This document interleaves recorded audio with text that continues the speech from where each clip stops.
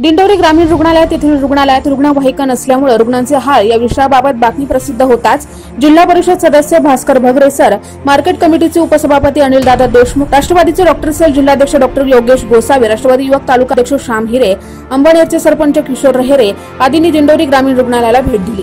व दिंडोरी ग्रामीण रुग्णालयाच्या कारभाराविषयी माहिती जाणून घेतली. यावेळी ग्रामीण रुग्णालयाचे अधीक्षक डॉक्टर विलास पाटील हे उपस्थित होते.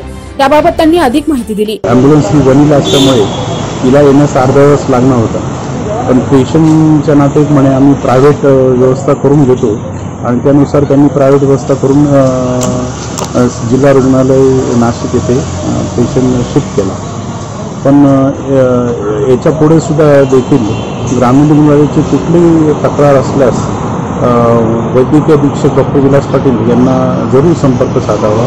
यावेळी रुग्णालयाच्या अडीअडचणी व सेवांविषयी सल्लामसलत करून त्यावर सोडवण्यासाठी आश्वासन देण्यात आले. यावेळी जिल्हा परिषद सदस्य भास्कर भगरे यांनी अधिक माहिती दिली.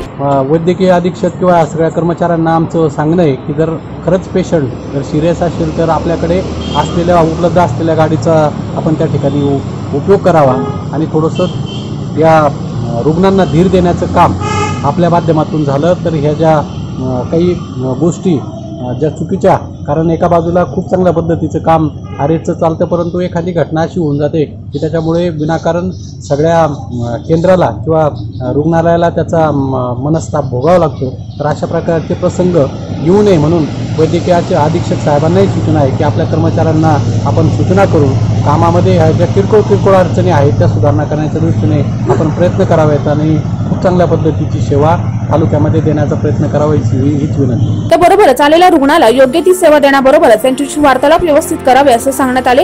यावेळी डॉक्टर पाटील यांनी रुग्णालयात काही अनुचित प्रकार होत असेल तर माझ्याशी संपर्क साधा असे आवाहन केले. एनसीएन न्यूजसाठी प्रतिनिधी अमोल जाधव दिंडोरी.